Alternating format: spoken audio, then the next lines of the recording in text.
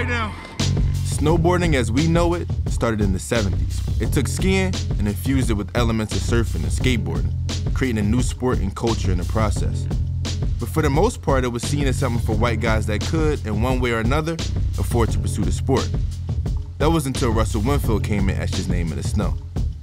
Over time, he became great enough to get sponsored, becoming the world's first black professional snowboarder. From his backwards fitteds to doing his thing in baggy jeans, the man known affectionately as Uncle Russ brought a braggadocio to the sport that only someone like him could have. With no blueprint to follow, he made his own and wrote his own story. I'm your host, Siddiq, founder of Pacific Town Club, and today we're linking up with Russ on Southern California's Big Bear Mountain. We'll talk about his life and career, how he changed the game of snowboarding, and learn how all of us can get out there and take part in a sport more and more black folks are claiming their space within, uninterrupted. Because the game needs you. The game needs us. Let's get it. So what's good, Russ? How you doing, my man? I'm great, man. I'm great. I'm great. Appreciate you doing this. I appreciate y'all having me, man. We living good back here. So let's take it. Let's take it to the beginning. I was born in Rye, New York, which is a bedroom community for uh, Manhattan, for the city. My mama is from Durham, North Carolina. She decided she didn't want to have me down south. Played ice hockey. That was my big sport, right? But I also skateboarded. Yeah. So in fifth grade, I remember going to the skateboard shop and I saw they had an old Burton, I mean, it was brand new back then, Burton snowboard. And I saw that thing and I, and I, and I just, I was like, this is it. And uh, so I conned my mom into buying me this snowboard. I remember after like my third day of figuring it out and like learning how to turn and then hitting these jumps, I was like, oh, this is. You was hooked. Yeah, it was it. It was over. You have a club you do, right? What's your thing? Yeah. So the the name of the this is a sports club that I've been working on. It's called Pacific Town Club, and really. I was always interested in a lot of different shit. I grew up watching the X Games. I thought Shaun White was the shit. I thought Tony Hawk was the shit.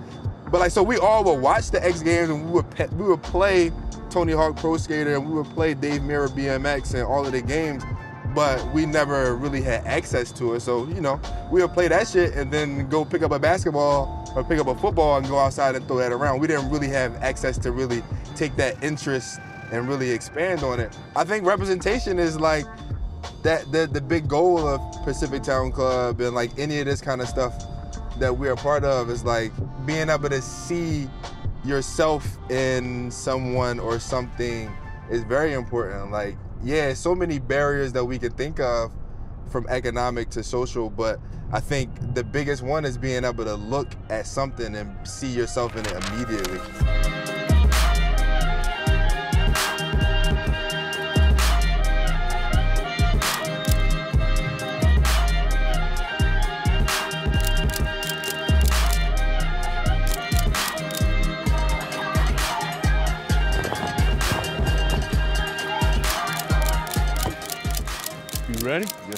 Go get you some What's stuff. good? Gonna find you some gear, Yeah. my man. First thing we gotta do, I gotta get some drip like you, man. I gotta get some boots. I gotta get I gotta get a board, I gotta get a helmet. So we're gonna head into the rental shack right now. Yep, they'll get you all and, set and- up. and get right so I can get out of these Air Forces, man. How you doing? Yes, sir. Can I get that good drip?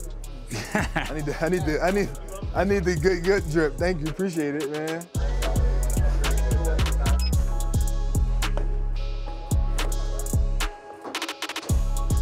So you're booted up. How they feel? They feel good, man. A little- Snug, but a little bit of Yeah, little- you know want what them to be kind of snug. Now we just need to find you a board. And you know if you're regular goofy man? Uh, I am not goofy. No, no, I'm Which here, turn around. I'm regular. Look that way. Be regular. I'm Reggie. I'm regular. I'm a regular guy. Yeah. Right, yeah, try that on that, see how it feels. We'll just get him all the way going here. Take me out.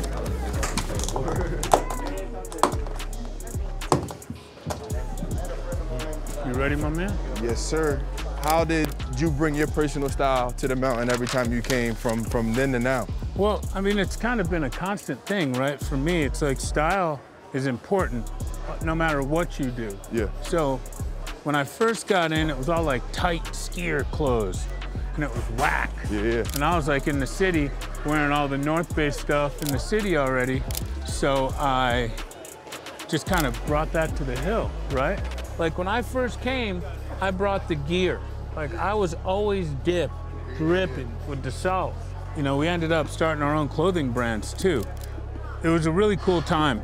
And I learned a lot growing up in this industry, right? It was trial by fire, right? Because nobody else could design it, so sure. I had to design it. For sure. And that's kind of how it all started for me when I was like 18 years old.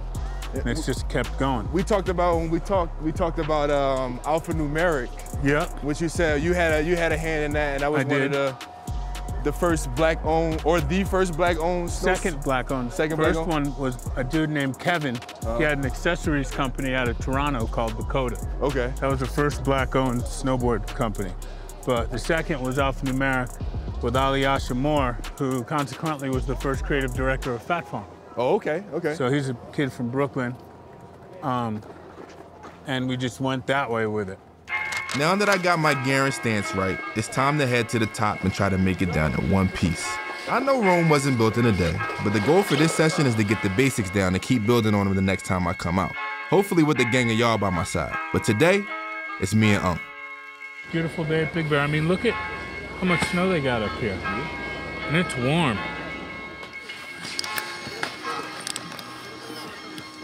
There you go. There you go. There it is. There it is. Game needs you. Live from Bear Mountain. Russell Winfield. Out here with my man Siddiq.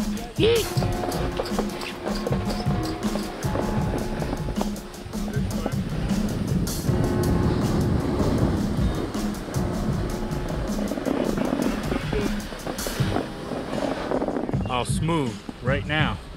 We're in it. Let's see it, man.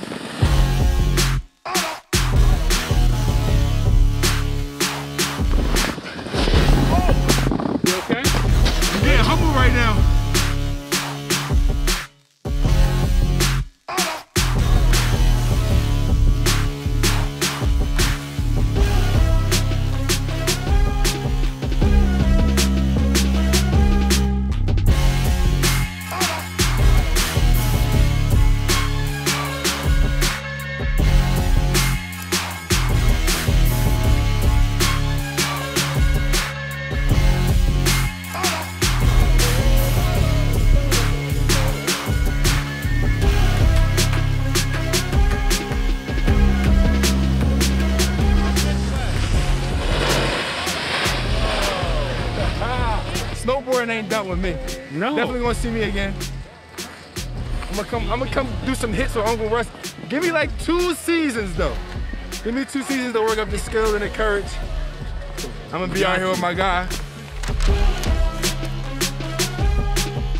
First and foremost, can we talk about how beautiful the weather is up here? No, it's Like, beautiful. This is it for It's me, beautiful. right? I don't know, man. Like this is these are the lifestyle sports that you know I think about. You know, I think about lifestyle. I think about like wanting to travel and get fly and try new things. Yep.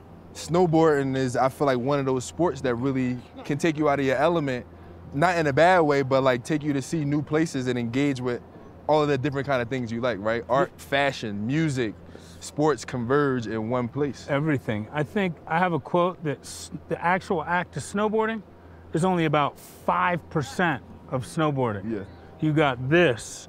You got just chilling on here. You got hanging out with the homies. You got creating memories. You got teaching your kids. So passing it on. It's a whole culture, right? That that uh, you know black and brown people haven't fully tapped into, and I think that that we're about to. seeing yourself is one thing, but when you actually get out here and try it, it's like now you got the bug. I feel like the first black person I ever saw snowboard at a high level was Zeb, Zeb Yeah. Powell, a few years ago. But then to see like one Google search now in history for me with black people and snowboard go back another 30 years. And like that's something that I latched onto, like doing my research and like, oh, is this something I want to get into? It's like, oh shit, like this dude got dreads, he got a backwards hat on, he fucking grinding in jeans. So like glad like you've been giving your flowers, you know, better late than never to to the point to understand how impactful your your Yeah. your your journey was and your history in the sport is. Damn, that was fun. We appreciate y'all joining us for a hell of a day snowboarding with a true pioneer that paved the way for everyone that followed him. From the style we bring, to the stories we tell, to the way we look out for one another. I hope today y'all got to see just how much the game needs you. See y'all outside.